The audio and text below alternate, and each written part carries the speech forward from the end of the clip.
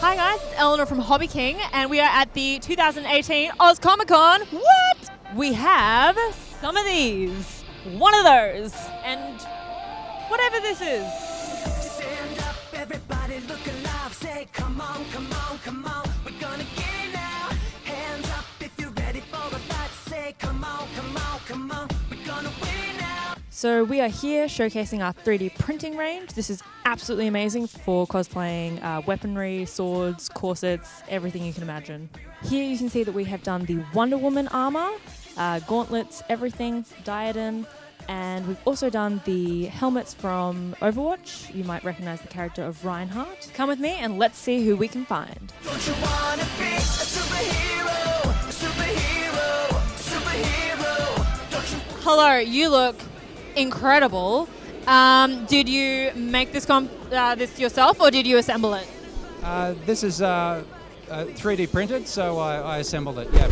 So I need to ask you a really important question. Um, who is your absolute favorite superhero, Taylor Swift or Katy Perry? Ooh, call me a Swifty.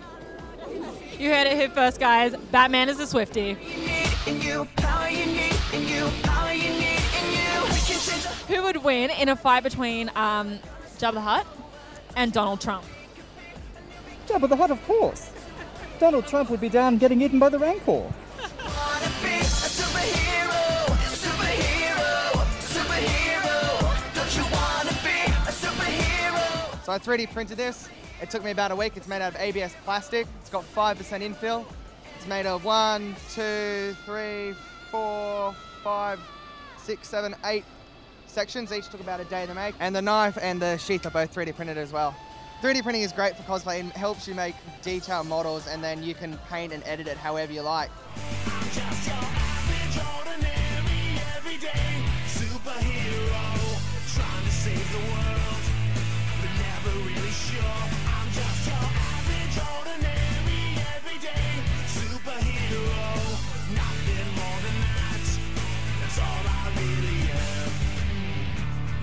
Day job that someone's got to do.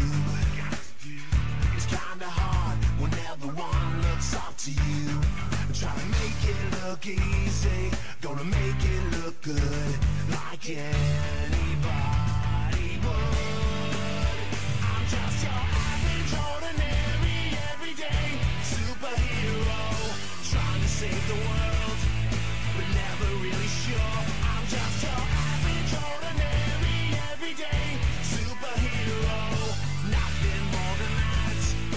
Uh, so mine's part bought, part made. So um, I had this guy's brother uh, 3D print the patches for me uh, and the gun.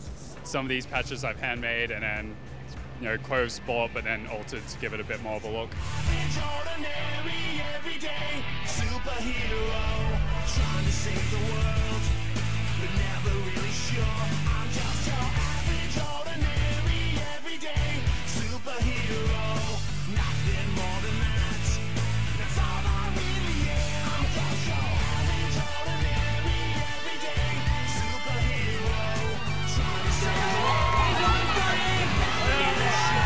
Thank you, everyone. We have had an amazing day. That is a wrap on Oz Comic Con 2018.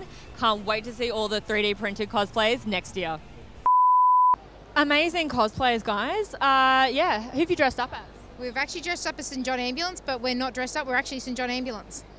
So, actual medical professionals saving lives.